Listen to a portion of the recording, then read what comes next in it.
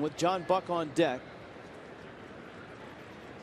Stan gets a fastball, hits it to left center field, and hits it deep, way deep, and way gone. Mike Stanton, a two-run homer, and the Marlins have a 2-0 lead.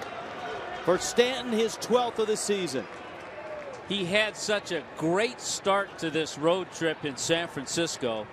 He stalled in L.A. He did get a double here the other night, but just absolutely torches one into that left center field area. I believe it went off the facing above that Geico sign. Oh, right there, solid swing. I watched the center fielder, Chris Young. He took a couple of steps and then he just looked up to